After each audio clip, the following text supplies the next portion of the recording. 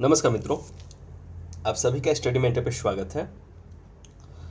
आज हम एस्टेट पे बात करने वाले हैं, जिसकी एक कल बहुत महत्वपूर्ण नोटिस जो है डाली गई थी।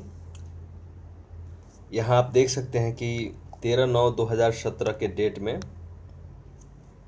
इन्होंने एक नोटिस डाला है, जिसमें ये बताया गया है कि जो आगामी स्टेट एग्जामिनेशन है वो नवंबर मंथ में कंडक्ट की जाएगी, नवंबर मंथ में ली जाएगी। इन्होंने यहाँ स्पष्ट किया है। State 2016 examination is to be conducted in the month of November जो अगला एग्ज़ाम है वो नवंबर में होगी और साथ के साथ इन्होंने एक और चेंज किया है इसमें। इन्होंने पीआरटी और पीजीटी के सिलेबस में कुछ चेंजेस किए हैं, जो कि हम जस्ट देखने ही वाले हैं इसके जस्ट बाद। तो ये सूचना आपके लिए काफ़ी महत्वपूर्ण है। अगर आप सीटेट की भी तैयारी करते हैं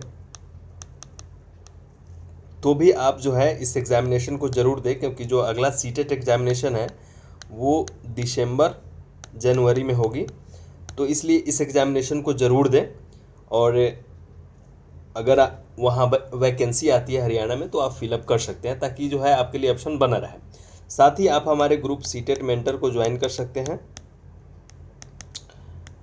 जिससे कि आपको एजुकेशन से रिलेटेड बहुत सारे नोट्स, बहुत सारे क्वेश्चन, बहुत सारी चीज़ें आपको मिलती हैं। और इसे जो है आप सर्च मारेंगे फेसबुक पे तो मिल जाएगा या मैं नीचे इसी वीडियो में नीचे लिंक अवेलेबल कर दूँगा। आप वहाँ से जो है इस ग्रुप को ज्वाइन कर सकते हैं और काफ़ी फ़ायदा उठा सकते हैं इस इस ग्रुप का। ठीक है? तो इसे ज़रूर ज्वाइन करें। साथ के साथ आप चैनल को ज़रूर सब्सक्राइब कर लें ताकि जो रिसेंट अपडेट्स होगा आगे वो आपको मिलता रहेगा। आइए, आगे हम सिलेबस को देखते हैं। ये सिलेबस में इन्होंने कुछ चेंजेस किए हैं। आप देख सकते हैं लैंग्वेज के मार्क्स को। उसमें कुछ चेंजेस हुए हैं यहाँ पे लैंग्वेज में और यहाँ पे। इन दोनों सेक्शन में ही कुछ इन्होंने परिवर्तन किया है। सेम यहाँ भी हुआ है, कुछ ऐसा ही। तो इन सब चीज़ों को आप एक बार अच्छे से देख लें। मैं इसे थोड़ा और जूम कर देता हूँ ताकि जो है आपको आसानी रहेगी।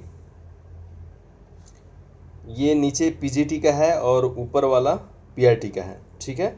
Level one and level level three और टीजीटी के सिलेबस में जो लेवल टू होता है, उसमें इन्होंने किसी प्रकार का परिवर्तन नहीं किया है। जो परिवर्तन किया है, वो आपके सामने है। ये आप हरियाणा एसएससी के वेबसाइट पे भी देख सकते हैं, जो जिसके द्वारा ये जारी की गई, जो इस संदर्भ में काम करती है, जो संस्था सरकारी इंस्टीट्यूट है। तो ये सारी सूचनाएँ थी आपके लिए, ठीक है? और, ठीक है, चैनल के साथ जुड़े रहें और मिलते हैं फिर अगले वीडियो में।